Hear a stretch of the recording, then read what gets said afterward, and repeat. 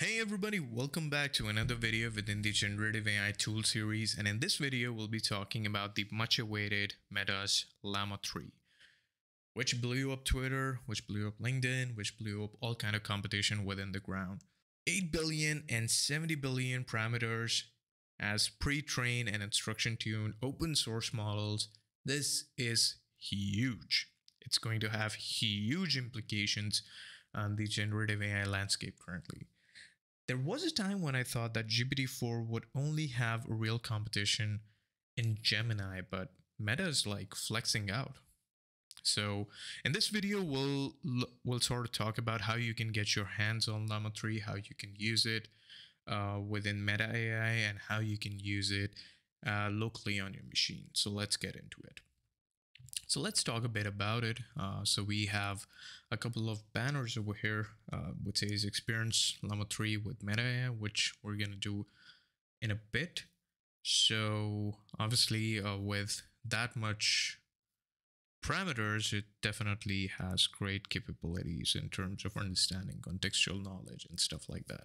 So no doubt over there. Enhanced performance, yeah, pretty, pretty Pretty same stuff over here, an openly accessible model that excels at language nuances, contextual understanding, and complex tasks like translation, dialogue generation. Perfect. So you can access it through Meta AI, which happens to be like Meta's version of uh, ChatGPT.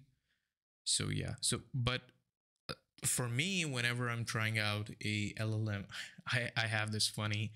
Uh, funny problem that I use. So it's like what is 2 raised to power 10 divided by 3, which happens to be 10.07, 10.1 if you're rounding by 1.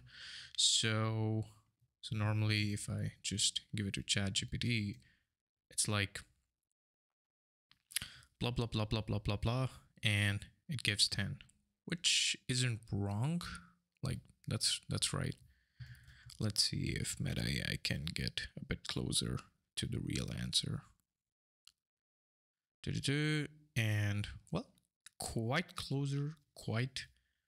But obviously, uh, we can debate. Obviously, I know it's a it's a funny benchmark problem, but it's just something that I just have to try out with every new uh, outcoming LLM. So it's kind of nice. Uh, so you can use Meta AI over here uh, by the link of meta.ai.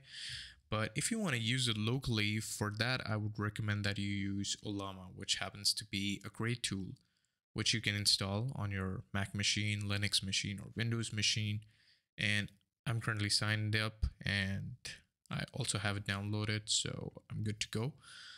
So at the top, we have Llama 3, which has 78.5k pulls under 17 hours, which is huge. So we have model family, Llama, parameters 8 billion, quantization, 4 bit. Uh, so if you don't know about quantization, it's like a technique uh, used because when you have uh, so many parameters, obviously you cannot just let the LLM go with it because if you if you run that sort of thing on your machine or in within your infrastructure it will consume a lot of computation power. So quantization is more like it tones down your llm uh, by using a few techniques. So yeah it saves a lot of computation powers and so on and so forth. So here we have a few flexes by llama 3 so so you have a couple of readings here, how it sort of uh, outruns Mistral 7B and Claude 3 Sonnet. And here, uh, once you install it, uh, Ollama, you can use CLI to run Llama 3.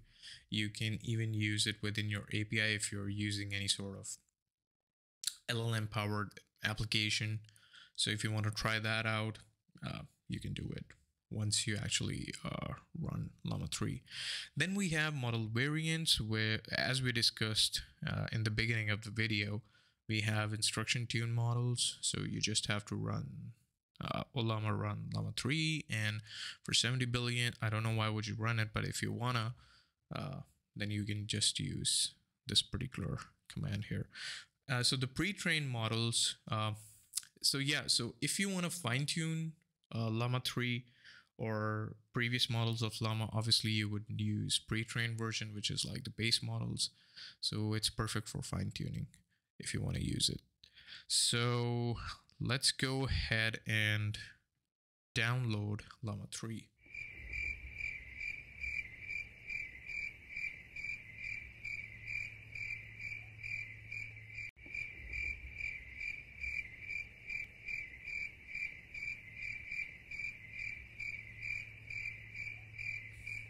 All right, so I have everything installed. So it's ready to use.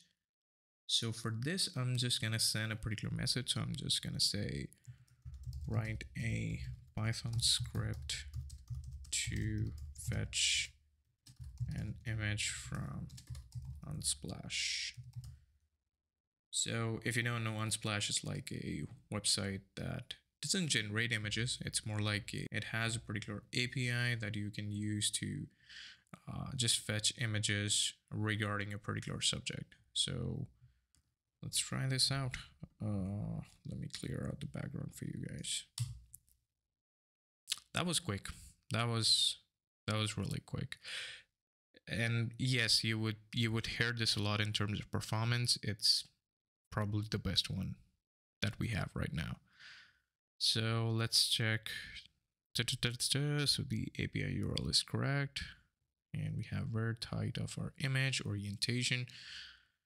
All right, this is kind of nice. Um, so you get the gist of it. It's it's kind of, I mean, I I love the performance aspect, and definitely there's a lot more to come. There had been like a lot of promises by Mark Zuckerberg in terms of the evolution of Llama 3 and how it will impact some of their upcoming products. So can't wait to see that. So yeah, that's it for this particular video.